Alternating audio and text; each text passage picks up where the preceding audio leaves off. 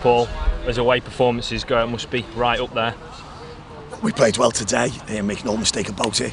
Uh, we've come to a team, that a very strong team. You know, in my opinion, will be up there at the end of the season in the shake-up. Uh, good players all over the pitch, very experienced manager now. Graham, like myself, will get more experienced as we go along. We're not young no more.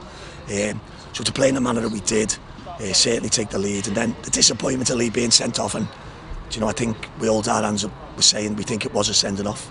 You know, and that's the disappointing thing for us because at that stage we were just about to take control of the game and possibly go on and win it. Great credit to Scunthorpe, they put us under pressure right till the end.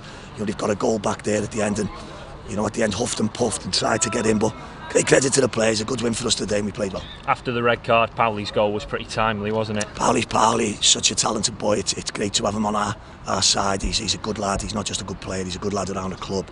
You know, all the lads and staff love him. You know, he's got that moments of magic in games that can change games, and certainly the second goal was always going to be huge. And Dan Burn's finish wasn't bad either. Yeah, Dan was great. Uh, Dan's another one. You know, you can't speak highly enough of some of these lads. Not just good players, but good lads. He was a right good lad, Dan, to get to get Dan to score like that, and you know, to come here and win, we're pleased.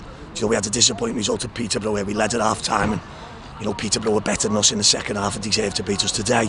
We come in where we felt we dominated the game for long periods. We felt we were the better team and we felt we deservedly won the game. You mentioned the Peterborough on this one. Start of each half, they were on it, weren't they? Well, we spoke about it at half time. We never started the second half of Peterborough, did we? But it's all learning. It's like for Lee Evans and all the lads when we make mistakes. Football's about learning and hopefully you learn from your mistakes. You know, we've got a good record on the road now. We've been to some tough places. I think we've won four and lost two. So we've got 12 points out of maybe six games, which is which is okay. We're delighted for the travel and support. You see what it meant to them today. And chairman's away, so I'm sure he'll be happy as well.